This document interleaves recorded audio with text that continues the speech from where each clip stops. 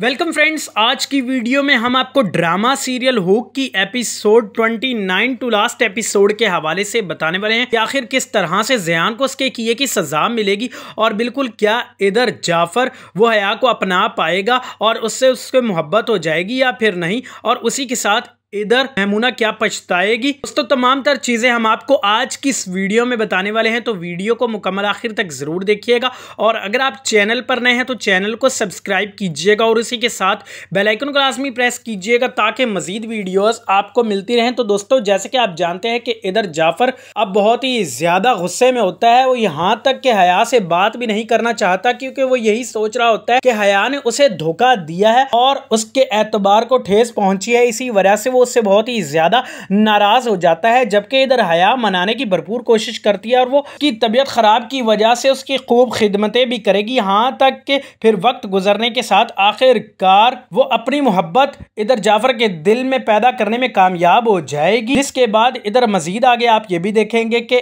बयान ने शादी कर ली होगी इधर सदफ के साथ, लेकिन वो इस रिश्ते से बिल्कुल भी खुश नहीं होगा और वो यही कहेगा कि आज भी मेरे दिल में हया ही है और मैं उसी को ही चाहता हूँ। इस पर के इधर सदफ को बहुत ही ज़्यादा दुख हो रहा होता है और उसे इस बात के लिए बहुत ही ज़्यादा बुरा लग रहा होता है कि सब कुछ जानते बूझते हुए भी उसने ये फैसला करके इधर जयान को अपनाया। खैर, फिर भी वो अपनी कोशिशों में मुबतला रहती है। इधर जयान को यही यकीन दिला रही होती है कि वो इधर हया को भुला दे, क्योंकि इसी में ही बेहतरी और अपनी मुस्तबिल और अपनी ज़िंदगी के हवाले से सोचे कि अगर वो हया को हासिल करेगा तो सिर्फ़ और सिर्फ़ उसको नुकसान का ही सामना करना पड़ेगा। खैर, फिर मजीद आगे आप ये भी देखेंगे कि इधर जाफ़र का रवैया बदल जाता है। यहाँ तक कि उसकी अम्मी भी उसे समझा रही होती है कि तुम्हें बेहतर रवैया करना पड़ेगा, जिसके बाद फिर कुछ वक्त गुजरने के साथ इधर आप यही देखेंगे कि हया के घर खुशखबरी हो जाती है कि वो माँ बनने वाली है, जिस पर के इधर काफर को बहुत ही ज़्यादा दिली खुशी होती है और वो बहुत ही ज़्यादा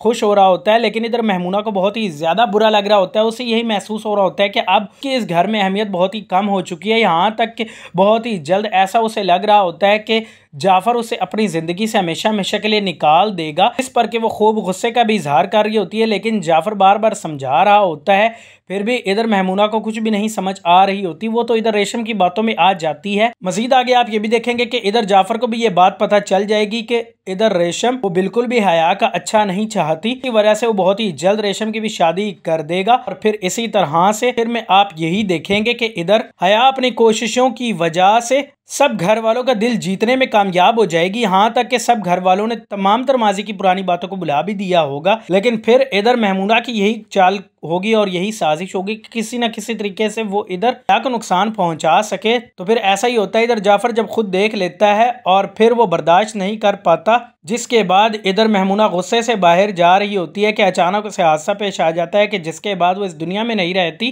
तो फिर इधर आखिरकार जाफ़र ही हया के साथ खुशी रहने लगता है, जबकि इधर जयान, वो भी वक्त के साथ उधर जाता है और उसे भी मोहब्बत हो जाती है सदफ से। तो फ्रेंड्स इस तरह से इस ड्रामे का अख्ताम होगा। होपफुली उम्मीद करता हूँ कि आपको वीडियो अच्छी लगी होगी। If you like and enjoyed the video then please subscribe to our channel Asim Shar official and press the bell icon so that you never miss any updates care Allah Hafiz